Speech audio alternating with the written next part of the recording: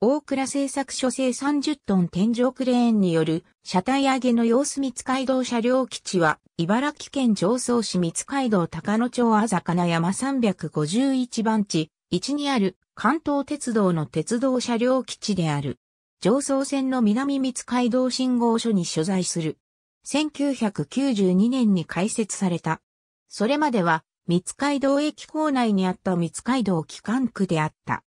小絹駅三街道駅間に位置し、西側には南三街道信号所が設置されている。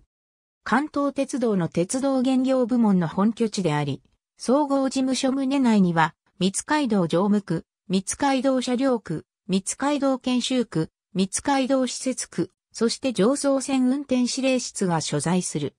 運転指令室には CTC 装置が設置されており、上層線三街道駅下館駅間の運行管理を行っている。三街道車両基地で休む機動車群上層線で使用する全車両が所属している。実際に運行されている機動車を使用した運転体験が毎月1回行われており、同業者の参加も多く見られる。